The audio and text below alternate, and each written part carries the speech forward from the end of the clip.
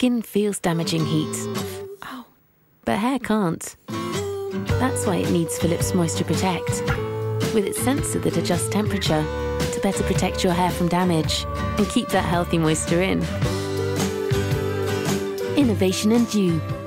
Philips.